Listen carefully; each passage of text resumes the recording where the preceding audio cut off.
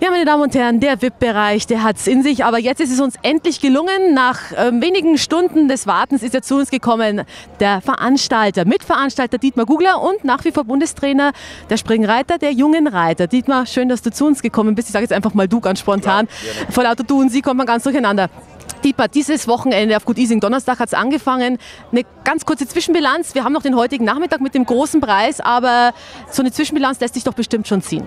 Ja, natürlich. Wir sind äh, sehr zufrieden, weil wir einfach eine Mischung äh, aus äh, tollen Spitzenreitern wie Markus Ening, Meredith Michaels Beerbaum, äh, Beat Manley, die äh, schwedische Nationalmannschaft hier haben und dann Amateure und äh, junge Reiter. Und das war eigentlich auch das ursprüngliche Konzept, das wir hier auf Good Easing mit diesem Turnier machen wollten.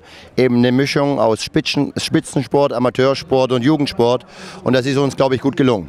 Wie ist es euch denn gelungen, so Top-Leute wie Markus Ening, Markus Baerbaum, Meredith Michaels Baerbaum und alle, die du aufgezählt hast, nach Ising zu bekommen? Ich meine, du bist im Reitsport bekannt wie ein bunter Hund, sage ich mal jetzt so hin und her. Hast du den Einfluss oder rufst du mal eben an und sagst, kommt oder kommen die von selber? Ja, gut, äh, dieses Jahr war es glücklich, weil die sich auf die äh, Weltmeisterschaften in Kentucky vorbereiten und dort gibt es einen Sandboden und hier hatten wir eben auch Sandboden.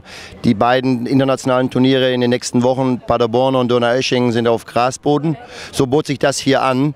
Das wird sicherlich nicht jedes Jahr äh, so sein, aber der persönliche Kontakt, den wir als Trainer zu den Reitern haben, der hilft natürlich auch. Und wie gesagt, äh, jetzt ist die Global Tour zu Ende, äh, jetzt sind die Nationenpreise zu Ende. Die Spitzenreiter nutzen dieses Turnier, um mit ihren Kunden, mit ihren Jugendlichen, mit ihren Amateurkunden auch hier zu, äh, hierher zu kommen, hier zu reiten. Und sie können hier auch ihre jüngere Pferde mitbringen und an den Start bringen. Alles da. Also eigentlich eine sehr, sehr positive Bilanz. Jetzt passt natürlich auch noch heute das Wetter. Heute zum Abschluss noch der große Preis und dann natürlich auch noch die Entscheidung im iCup. Wer qualifiziert sich als nächstes für das Festhallenturnier in Frankfurt?